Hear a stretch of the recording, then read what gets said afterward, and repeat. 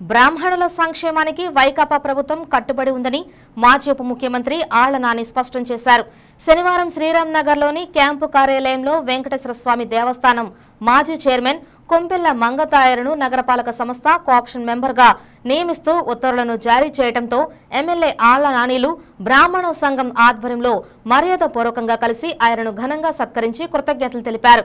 ఈ సందర్భంగా నాని మాట్లాడుతూ బ్రాహ్మణ సంక్షేమానికి సీఎం వైఎస్ జగన్ కట్టుబడి ఉన్నారని అదేవిధంగా నామినేటెడ్ పదవుల్లో కూడా తగిన ప్రాధాన్యత కల్పిస్తూ వారు అన్ని విధాలా ఆర్థికంగా అభివృద్ధి చెందాలనేది తమ జేయమని పేర్కొన్నారు. అలాగే ఏపీ బ్రాహ్మణ సమాఖ్య అధ్యక్షులు సత్యవాడ దుర్గాప్రసాద్ ఆళ్ళ నానికి ప్రత్యేకంగా కృతజ్ఞతలు తెలుపుతూ బ్రాహ్మణ సంక్షేమానికి విశేష కృషి చేస్తున్న ఆళ్ళ నానికి అండగా నిలవాలని ఈ సందర్భంగా పేర్కొన్నారు. ఈ కార్యక్రమంలో కృష్ణమాచార్యులతో పాటు పలువురు బ్రాహ్మణ సంఘం ప్రముఖులు తదితరులు పాల్గొన్నారు. చెప్తున్నాను వీళ్ళందరూ నాకు అన్నదమ్ములు నా పిల్లలు వీళ్ళందరూ నా కూతుళ్ళు నా కోడళ్ళు వీళ్ళందరూ నాకు మంత్రి గారు నాకు నాని గారు అనౌన్స్ చేసినందుకు చాలా చాలా సంతోషంగా ఉంది. నాకు నమ్మకం ఇరవై ఐదు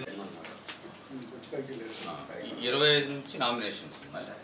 ఈరోజు నోటిఫికేషన్ ఇస్తారు ఈరోజు నోటిఫికేషన్ రాగానే అనౌన్స్ చేస్తాను. సార్ ఇప్పుడు సుబ్బలక్ష్మి గారు డాక్టర్ సుబ్బలక్ష్మి గారు సెంటాన్స్లో వర్క్ చేశారు సార్.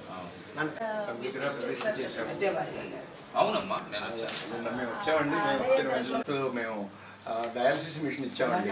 టూ థౌజండ్ ట్వంటీ వన్కి డయాలసిస్ పేషెంట్స్కి హెల్ప్ జరుగుతుందని రెండున్నర ఏళ్ళ క్రితం ఏడు లక్షల రూపాయలు ఇచ్చాం నేను కూడా వస్తాను డాక్టర్ గారు ఆ. డయాలసిస్ మిషన్స్ రేపు మన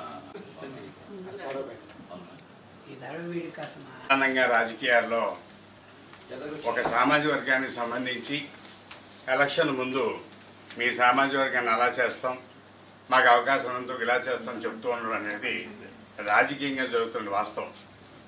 అయితే దానికి భిన్నంగా ఏలూరు నియోజకవర్గంలో పూజ్యులు పెద్దలు మాజీ మంత్రివర్యులు శ్రీ ఆర్ల హరికృష్ణ శ్రీనివాస్ కమిటీకు ఆ రోజు ఏదైతే మాట ఇచ్చారో శ్రీ వెంకటేశ్వర స్వామి దేవస్థానం అనేటువంటిది మీ ఆధీనంలో ఉంటే ఖచ్చితంగా దానికి వైదిక ధర్మాలు ఖచ్చితంగా పాటిస్తారు అని చెప్పి ఇచ్చిన మాట ప్రకారం గత నాలుగున్నర సంవత్సరం బట్టి కూడా పూర్తిగా మా ఆధీనంలో ఇచ్చినందుకు గాను ఉదయపూర్వక కృతజ్ఞతలు తెలియజేస్తున్నాను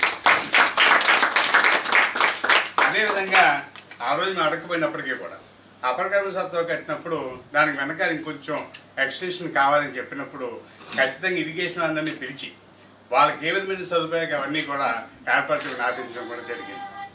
ఇకపోతే ఈరోజు నిజంగానే ఒక నామినేట్ పదవి కాకుండా ప్రత్యక్ష రాజకీయాల్లో కూడా మాకు ఒక అవకాశం ఇచ్చారు.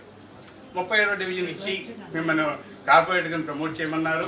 అయితే కొన్ని కారణాల వల్ల మేము ఓడిపోయినప్పటికీ కూడా ఈరోజు అదే ప్రాంతంలో మా ఉద్యోగమానులు తాయారు గారిని పిలిచి కోఆప్షన్లో అనేటువంటిది యావత్ బ్రాహ్మణ సమాజం అంతా కూడా మీకు. ఇదే విధంగా dynamic and daring and dashing real hero. అంటే రియల్ హీరో కాదు జనం పవన్ కళ్యాణ్ గారు రియల్ హీరో. ఎందుకంటున్నానంటే మన ఆయన మినిస్టర్గా చేసినప్పుడు కరోనా వస్తే చూపులతో వచ్చేస్తుంది ఉమ్మేస్తే వస్తుంది దారమిటి వెళ్తే వచ్చేస్తుందని బెదిరించారు. ఆ రోజున ఆయన స్టేట్ అంతా తిరిగి ఆరోగ్యం ప్రతి మనిషికి కూడా ఆరోగ్యాన్ని జాగ్రత్తగా దగ్గరుండి కాపాడి చాలా సేవ చేశారు ప్రజలందరికీ. అందుకని డేరింగ్ అండ్ డాషింగ్ అని చెప్పాను. ఆయన బ్రాహ్మలకి ఎప్పుడూ కూడా వెన్నంటే ఉండి మమ్మల్ని అందరినీ నడిపిస్తున్నారు.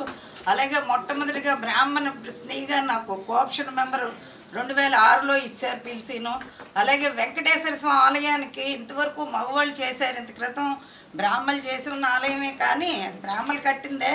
కానీ ఒక స్త్రీగా నాకు పిలిచి చైర్మన్ పదవి ఇచ్చి నన్ను ఎంతో అది ఆదరించి అభిమానించారు మా నాన్నగారు. ఆయనకి ఎప్పుడూ కూడా సదా రుణపడి ఉంటాను. చిన్నపిల్లాడే కానీ ఆశిస్తున్నాను ఆయన.